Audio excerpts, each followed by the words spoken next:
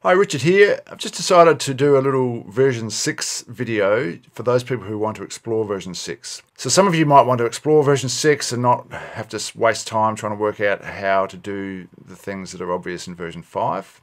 The end result of this is I'm uh, reaffirmed to stick with version 5 for this course until they fix a couple of major issues. So with no further ado, let's get started here's a version 6 file. If I click the, the cross, I'm prompted to save it, but the default location is the GeoGebra Online portal, which I don't want or like. I mean, I don't mind the online portal, but I don't like not being given a choice at this point to save it where I want to save it. So if I click these three horizontal lines are pretty much the key to where everything is that you can't see in version 5. So if I go to a version 5 file, all these menus across the top have disappeared, right, in version 6. Well, they're all in here. So if I click save, and that does give me a little floppy disk, so that seems to imply that I can save it to my computer. But even here, now it's asking me to sign in. well, what? Sorry, GeoGebra, I don't want to sign in, so I'm going to continue without. I don't even want to be asked that. But even here, I'm not convinced yet where it's going to save. So let's click save and hope it's going to give us an option. Oh, there it is. So now I can decide where I'm going to put it. But, you know, I just think that's a long way around. Not particularly happy with that. But anyway, that is the way you save files. I prefer in version 5 where it gives you the option to save it or to open a new, a new file. So that's been taken away. Now the next thing we're going to look at are the options and the view menu. So this is version 5. So in the view we can see all the different types of um, canvases and in options we've got rounding, labeling, font size, etc. So where did they disappear to in version 6 because I don't see them up here? Well, uh, first of all, if you click this little button, then you should get these. I just recently clicked this and these options didn't come up, so I clicked in and out a couple times and then they came back. So you're just going to have to muck around with it. Uh, if you click this grid, uh, there's grid on, there's grid off, there's axes on, axes off. So there are those options. And then in this menu, normally this comes collapsed, and for some reason it's not going to collapse on me. So there you go. Anyway, these are all the view options, so they're the same as version 5. Uh, and then if you click into settings, this is where the decimal places and the labeling and font size, etc. appear. So that's pretty much covered that. Alrighty, so let's talk about dynamic text, because this is the pain okay and this is why I'm not going to change the course from a version 5 and I really hope they sort this out by version 7 but there's no guarantees. And if they don't sort it out by version 7 I hope they don't discontinue version 5 I've just created the, the radius here and I've got a circumference. Now if I want to turn the circumference onto the value the name and value what if I just did value? What would happen there Nah, see the value, I don't want the equation, I just want the value. So that's another another problem that I don't think I had in version 5. Anyway, call it name and value.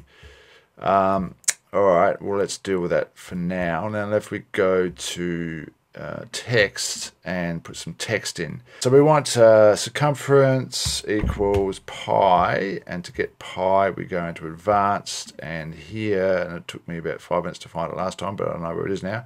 Pi times r, whoops, we want uh, LaTeX, r squared, LaTeX, we want this thing, oh, I think we need do need to put in r first. Okay, so that becomes a 2. That becomes R. I think that's got it. Then we're going to bring the, whoops, bring the text size up. Text is here. Let's go to large. Hit the cross to get out of there. Cancel that for now. So pi r squared, we've got, we've started, we've started it. Right, now if you just click it gently, or once you get a new even if you click it on there, you just get a new a new text box, which is bizarre as far as I'm concerned. So double click. Um, now let's see what happens now if we go. Oh, see, it won't let me. It won't let me type underneath. If I go down, it won't let me do it. Bizarre. Anyway, so let's just type it all in a straight line for now. Now, what we want, the pi is okay. We want the r to become the r that's over here. And the way you do that is to go to advanced and click on the GeoGebra and that gives you all the objects, letters, etc. that are being used. So we want that R. And let's see what happens there. Put it up here so we can see what's going on. Pi times 5.24. Well, that's, you know, okay, we've got that. But now we need to, well, then we just want C equals, and we want this C over here, but preferably without the equation of the circle. So we go into here again, click that, and go OK, and dang it, we've got the equation of the circle. What I can show you uh, is that if we if we now make separate lines for everything, and we don't really want the C's in there, we just want the equals, uh, whoops, whoops, let's, let's do that. See what that looks like. Still no joy. So now we have to do the, the dollar signs, and I just think this is just, compared to version 4 and 5, this is such a pain in the you-know-where that's ridiculous. So we get that, but I still don't know how to get... Now, I'm sure there's a, a fix, but I'm not going to spend hours trying to find this. The message here is, if you want to use, at the moment, and we're talking August in 2020, if you want to use dynamic text, and I personally think dynamic text is one of the key advantages or powers of GeoGebra. If you want to use it, then stick to version 5. Don't know what they're going to do next version. Let's just wait and see.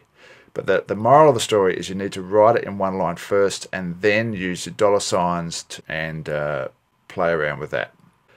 That's pretty much what I want to show you. So if you want to play with version 6, there are some things you need to know and then the rest you should better work out for yourself. But the saving aspect and the dynamic text aspect is very sus. I think you will like though the way once you start using it, you will probably prefer just some of the just general workflows, uh, kind of nicer once you get used to it. So there you go. All right, let me know how you get on. And thanks for watching.